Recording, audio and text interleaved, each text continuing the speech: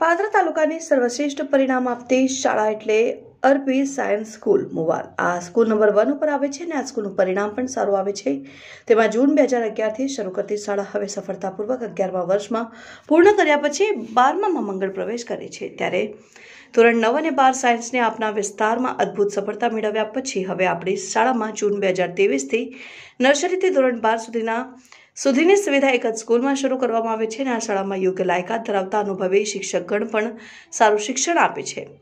બાળકોના સર્વાંગી વિકાસ ઉપર ધ્યાન આપે છે અને આ સુવિધા દરેક ગામમાંથી શાળા સુધી ટ્રાન્સપોર્ટેશન સુવિધા ઉપલબ્ધ છે અને નવી રાષ્ટ્રીય શિક્ષણ નીતિ અનુસાર બાળકોને શિક્ષણ પણ આપવામાં આવે છે. તેમાં નર્સરીથી ધોરણ બાર, વિજ્ઞાન પ્રવાહના દરેક ક્લાસરૂમ, ડિજિટલ ક્લાસરૂમ હોવાથી વિદ્યાર્થીઓને ઓડિયો, વીડિયો માધ્યમથી ટેકનોલોજી યુક્ત શિક્ષણ આપવામાં આવે છે. બાળકો માટે શાળામાં પૌષ્ટિક નાસ્તાની પણ સુવિધા આપવામાં આવી છે અને આ શાળામાં શૈક્ષણિક દર વર્ષે દરમિયાન yoga, karate, kabaddi, kho kho, volleyball, football, athletics, skating, badminton basketball જેવી રમતો માટે સર્ટિફાઈડ ટ્રેનર દ્વારા અનેક વિદ્યાર્થીઓને પોતાના રસ રુચિ ક્ષમતા પ્રમાણેની રમતમાં ટ્રેનિંગ આપવામાં આવે છે.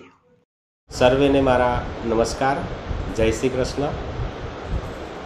અર્પી સાયન્સ સ્કૂલના મેનેજિંગ ડિરેક્ટર વતી હું નરેન્દ્રસિંહ જાદવ. આપ સૌને અર્પી સાયન્સ સ્કૂલ વિશે માહિતગાર કરવા જઈ રહ્યો છું. અમારી અર્પી સાયન્સ સ્કૂલ વર્ષ બે હજાર અગિયારમાં શરૂ થયેલી હતી, જેમાં અમે અગિયાર બાર સાયન્સ સૌ પ્રથમ શરૂ કર્યું હતું. ત્યાર પછી ક્રમશઃ અંજની સ્કૂલમાં અમે ધોરણ નવ દસની શુભ શરૂઆત કરી.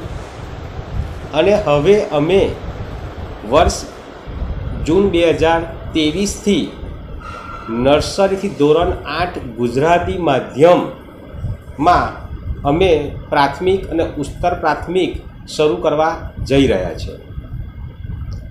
ધોરણ અગિયાર બાર સાયન્સમાં અમે ખૂબ જ અભૂતપૂર્વ સફળતા મેળવેલી છે.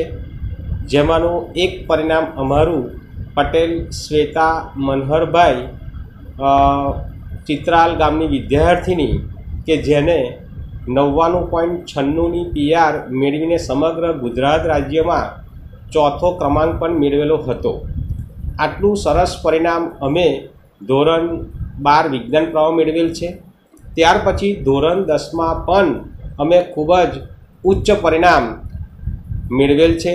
જેમાં ધોરણ નવમાં અમે સોરી ધોરણ દસમાં અમે નવ્વાણું પોઈન્ટ પચાસની ઉપર ઘણા બધા વિદ્યાર્થીઓની પીઆર મેળવેલ છે. છતાં પણ અમને કંઈક લાગે છે કે હજુ પણ આ પાદરા તાલુકાના જે ગામડાઓમાંથી આવતા વિદ્યાર્થીઓ માટે હજુ પણ કંઈક અમારે વધારે હજુ પ્રયત્ન કરવો જોઈએ કે જેથી કરીને આ બાળકો કોમ્પિટિટિવ એક્ઝામ, નીટની એક્ઝામ છે ઝેડબલની એક્ઝામ છે, ગુસ્કેટની એક્ઝામ છે, તો આ બધી એક્ઝામોમાં સફળતા મેળવી ગવર્મેન્ટ એટલે કે સરકારી કોલેજોમાં વિનામૂલ્યે પ્રવેશ મેળવે એવો અમારો એક નમ્ર પ્રયાસ છે. અને આ પ્રયાસને પૂર્ણ કરવા માટે અમે આ બધા વિદ્યાર્થીઓને પ્રાથમિકથી જ એટલે કે ધોરણ એકથી કે નર્સરીથી જ એક સારું જ્ઞાન અમે એમને આપી ભવિષ્યમાં આ બધા વિદ્યાર્થીઓ સારામાં સારી સફળતા મેળવે તે માટે અમે નર્સરીથી ધોરણ આઠની અંદર ઘણી બધી એક્ટિવિટી સારા ક્વોલિફાઈડ શિક્ષકો તેમજ ઘણા